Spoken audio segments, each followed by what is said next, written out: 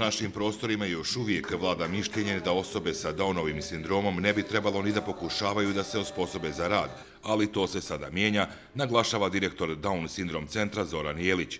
Štićenici centra dodaje polako ruše predrasude. Problem osobe sa Downom sindromom jeste taj što se generalizuje. Za sve isto da ne mogu, da ne treba i da nije. To je ono što želimo da menjamo, da društvo uvidi upravo e, znači da su to prije svega ljudi, pa tek onda osobe sa Downovim sindromom. Osobe sa Downovim sindromom u ovom centru, jedinom tog tipa na prostoru bivše Jugoslavije, osim socijalne rehabilitacije, se i radno osposobljavaju za konobare, kuvare, sobarice, radnike u vešeraju, higijeničare i za razna druga zanimanja. Ja ću biti kompozitor, pije, ovaj, napisala sam pjesmu e, za moj koju.